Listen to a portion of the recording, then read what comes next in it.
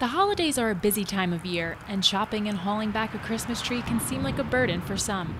But Erin at Luxinger's Christmas Trees isn't afraid to get her hands dirty for her customers. We kind of cater to people who want more customer service, so I joke that we're the easy tree shopping. Luxinger's chops the trees from trucks to New York and then puts them on display in its barn for quick shopping. Erin says real trees are still in high demand, which is not only good for business, but the environment also. Artificial ones harm it once people dispose of them.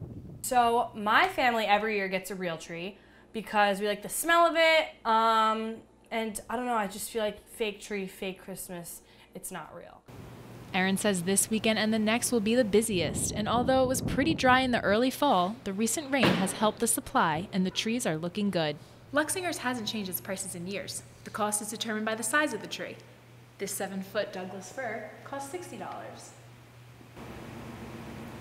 But the Fraser fir over here is Erin's favorite because of its sturdy branches and blue tint underneath.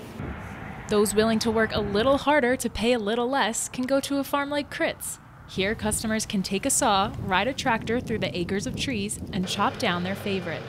A 7 foot Fraser fir that costs $60 at Luxinger's would be nearly $20 cheaper at Critz.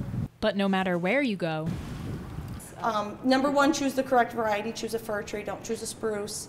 Um, number two, make sure it has a fresh cut on it when it goes home and then immediately get it into water and then make sure you water it every day. Erin's advice about caring for the tree will still apply. This is Colleen Callander reporting for NCC News.